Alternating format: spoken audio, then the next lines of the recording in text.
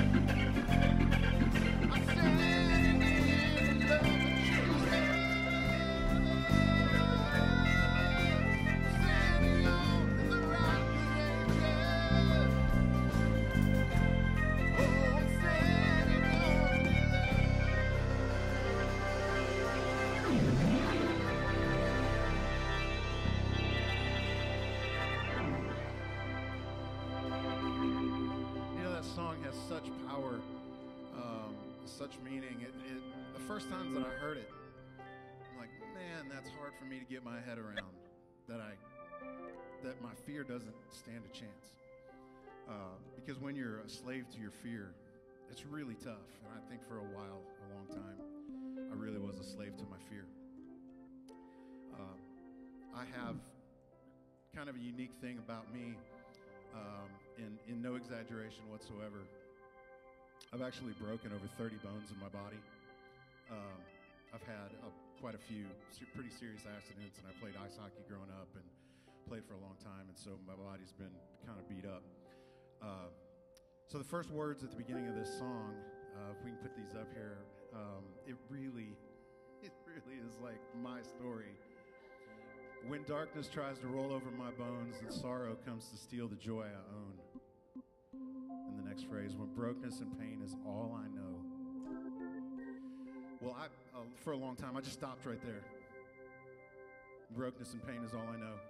And then you just put your head down and just know going forward. Uh, at a very difficult time getting past that. And even now, it's just a daily, kind of a daily thing of like, I have to get past it. Um, so I have to put in the last part of it, the last part of the verse. When brokenness and pain, brokenness and pain is all I know, then I have to say, I won't be shaken. I won't be shaken. Because my fear doesn't stand a chance when I stand in your love. So I have to put myself in that place of where God's love is. Um, those of you who are going through, what does, no matter what your pain is, if it's broken body, if it's broken mind, broken heart, it's all brokenness. Uh, but a great phrase that my dad um, has given God has built healing into our bodies. He's built healing into our minds. He's built healing into our emotions, our spirits. So even when we're broken, there's natural healing that can take place when we let it. So we have to stand in God's love, let that healing take place. Uh, and just trust that our fear is not going to be bigger than God's power. So that's what we're going to do. And we're going to continue singing about that today. Um, and I hope that as you sing these words, you can believe it. You can be assured that it's true, that God breaks the chains, the bondage, the pain, um, the agony that we go through. He's a, he is a chain breaker. And we need to believe in that. So stand in that today as we sing. Just One, wrap your minds around it. two. One, two, three. You've been walking the same old road for miles and miles. You've been hearing the same old voice tell the same old lies. If you're trying to fill the same old holes inside, there's a better life. There's a better life.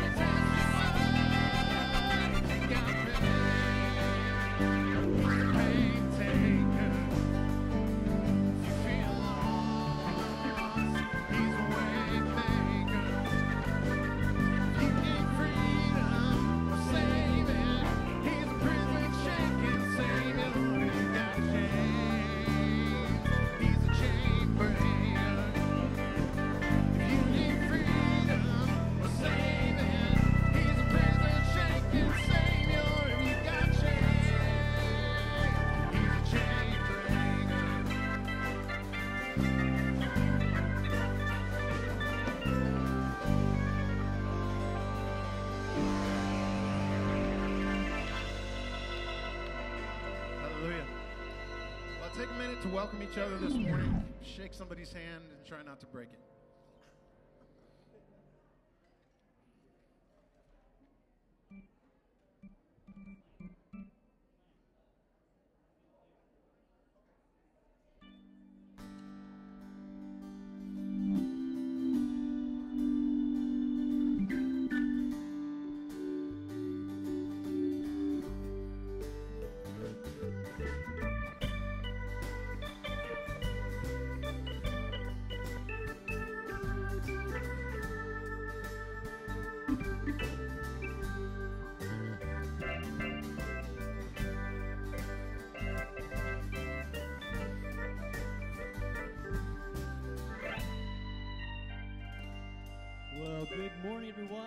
Again, welcome to Crossroads. So glad to see everybody here today.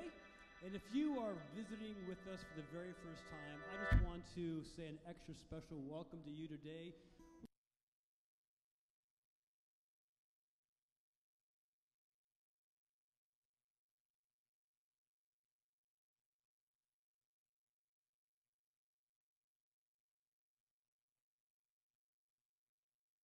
And fill out as much information as you feel comfortable in sharing with us today. Then after the service, take this card to the starting point area in our lobby right out these doors, and we'll place a small gift in your hands. It's just a small token of our appreciation of you being with us here today, and that's just that simple. We're glad to have you. And we have a couple classes happening immediately after this service today in the Ministry Center, and one of the classes is the Intro to Crossroads class. Now, this class is designed to explain what we um, believe and teach as a church, who we are at Crossroads. And so, if you're relatively new to the church, you'd like to know more information about, you know, what we believe, who we are, this class is for you. We will offer lunch and childcare; they're both provided. So please feel free to join us right after this service in the ministry center. As well, in the ministry center, our children's pastor, Pastor Heidi Ellis, is going to be teaching a class for child dedication, and that's in preparation for next Sunday. Because next Sunday we're going to be doing child dedication in both of our services. And so if you have a child, you'd like to have that child dedicated, this class would be a prerequisite for that opportunity. So again, lunch, childcare are provided. So Pastor Heidi Ellis would love to have you join her for that class today in the ministry center. Well, it's hard to believe that the Advent season is just really right around the corner. Just a few weeks from today, we'll begin Advent. We want to let you know that for the Advent season this year, we're going to be all going through a devotional, or we're encouraging everyone to journey with us through this devotional called Born of the King. This devotional has scripture readings, meditations, questions for reflection, prayer prompts, and our teaching series during the season of Advent will also be titled Born the King, and it'll be derived from the scripture passages that you'll find in this devotional. So I think you'll find this a great resource, a tool to just help you um, during a busy season to kind of just take some time, slow down, focus on what it really is all about. So these are available today at the community kiosk for $5. Um, they'll be available for the next couple Sundays, so please stop by the community kiosk and pick one up for your family. Also, during the season of Advent, it's always a great time that we get to participate in the ministry of Angel Tree, part of Prison Fellowship. You might have seen the Christmas tree that was in the foyer uh, as you walked in. That tree has lots of tags on it, and tags have children's names and gifts that they'd like to have. And so we would invite you to stop by that tree after the service today, pick up a tag or two, and go shopping for those kids. Bring those um, presents back unwrapped by Sunday, November 24th, because then there's a wrapping party on Thursday, December 5th. And then there's a party for all the families where we distribute the gifts on Saturday, December the 7th. So we can use help with both of those parties. And so if you want to help in any way, buying gifts, helping with the parties, please stop by the information desk in the foyer after service today and sign up. So this is a busy time of year that we're getting into, lots of things going on. As always, the best way to stay on top of things at Crossroads is to be part of our online community, crnazonline.com. Also, in the bulletin, you will find upcoming events listed. And I want to make a special note that today is the last day to register for the Women's Holiday Inspirations event that's coming up this coming Saturday. And if you have questions about our ministries, we have kiosk hosts that would love to chat with you about those, so feel free to stop by there. And before we uh, invite the ushers to come forward, I just would like to take just a moment to give you a brief update on our pastoral transition process that's happening here at Crossroads. Um, as you know, Pastor Kendall submitted his resignation two weeks ago. And two weeks from today, November 24th, will be Pastor Kendall and Denise's last Sunday with us. And we want to love on them, thank them for the ministry that they've had am- among us these past six years. So on November 24th, on that last Sunday they're with us, we will have a, um, a come and go celebration of ministry in the Ministry Center from 3 to 5 p.m. that Sunday afternoon. You can feel free to stop by anytime during that two hour window. And expressions of thanks in any form would be very appropriate. You may want to just take a moment to write down a note that reflects on the impact that they have had on you and your family during their ministry here. I know they would appreciate that. But most importantly, we just want to shower them with love and just say thanks for their ministry. So be sure to be part of that. And in light of their leaving, you may be wondering so, what's next for us here at Crossroads? And I want to let you know that our district superintendent, Doug Pierce, will be here in our services next Sunday morning on November the 17th. So, next Sunday, our services will be like normal, and Pastor Kendall will bring the message. Then, at the end of each of the gatherings, our district superintendent, Pastor Doug, will hold just a brief congregational meeting.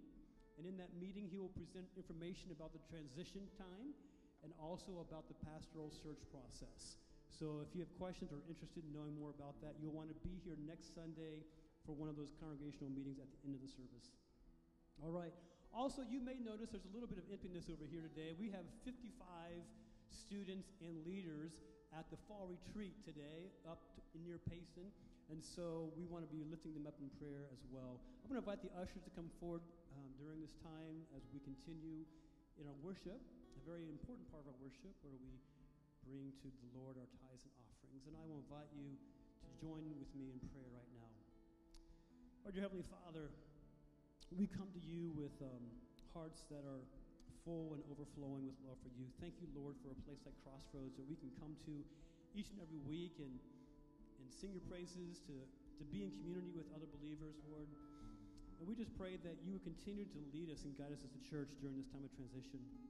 We do pray for Pastor Kendall and, and for Denise as they are uh, moving in their time as well, that you would lead and guide them. We pray that you'll be with our board and superintendent as he works with us in um, the transition process.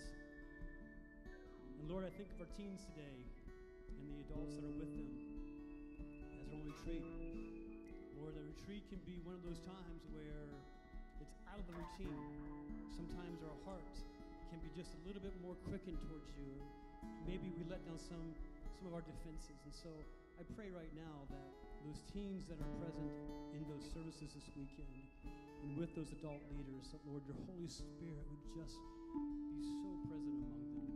That the adults would have wisdom and discernment, and the teens would have openness to what you would want to reveal to them this weekend. So be with them, Father, I pray.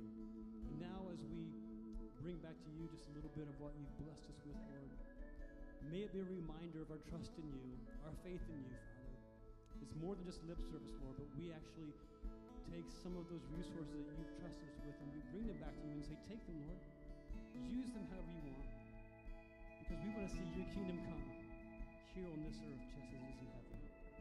So we ask these things, Lord, in your precious name. Amen.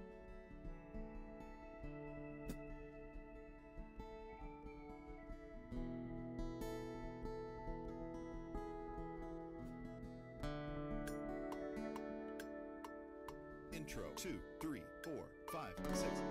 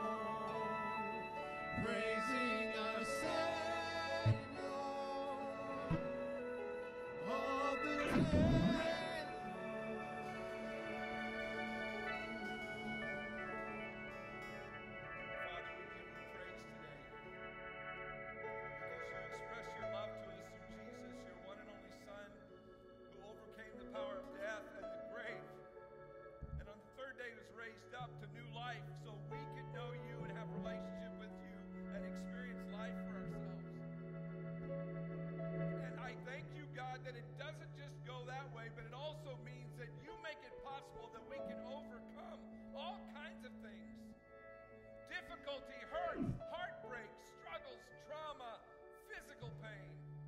God, help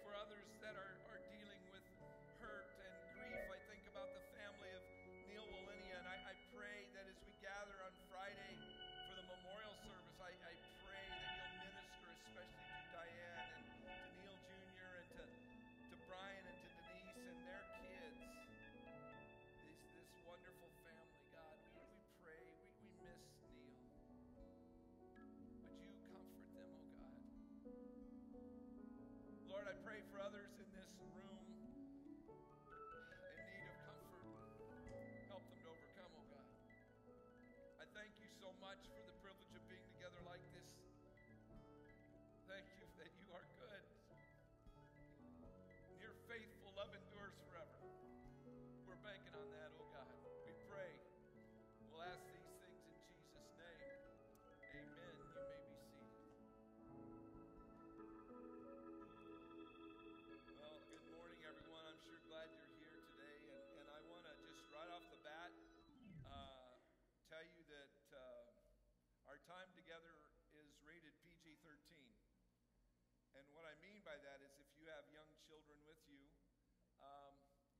decide if you want them to be in here because they may hear some things that are intended more for a mature audience. And so just want to give you that today is PG 13.